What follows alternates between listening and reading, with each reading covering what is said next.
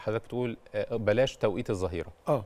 ليه بقى حضرتك مم. أشعة الشمس وقت الظهر بتبقى من نوع اشعه الفم- الشمس بصفة عامة فوق البنفسجيه ثلاث موجات موجة طويلة متوسطة قصيرة مم. الطويلة دي مفيدة للجلد اللي بناخد منها فيتامين د تبقى الصبح بدري وقبل الغروب فترة. الظهر دي أشعة قصيرة الموجة ضارة جدا بالجلد ضارة جداً. جدا بالجلد, بالجلد ضارة جدا يعني وأحد أسباب طبعا ظهور التجاعيد المبكرة وفي نفس الوقت طبعا حذرنا بقى كتير تعرض لها سنوات طويلة قد تؤدي إلى الإصابة بسرطان الجلد.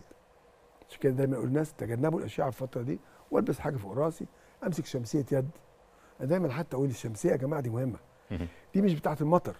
ده لو دي بتاعة المطر كانوا سموها مطرية.